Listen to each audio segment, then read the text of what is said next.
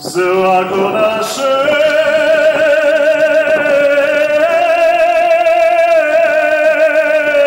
malo isto u duši je uvijek čisto Znaš kako je ono?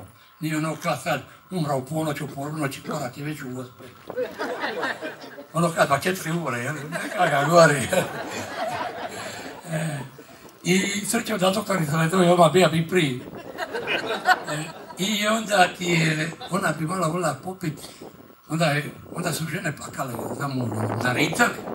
Ko nije znao naricale, bi platio, jel? U školi. Reci ti meni, Matko, kada je umro August Šenova?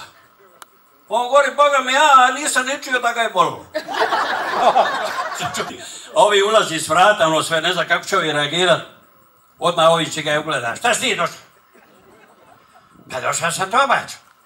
Pa što mi nisi obašao kod Pjerkove odluke? Ona se bavi znanstvenim radom.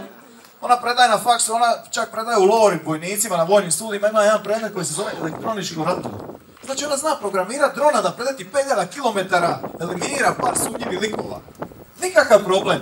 Ali punjene paprike. Nemoguća misija.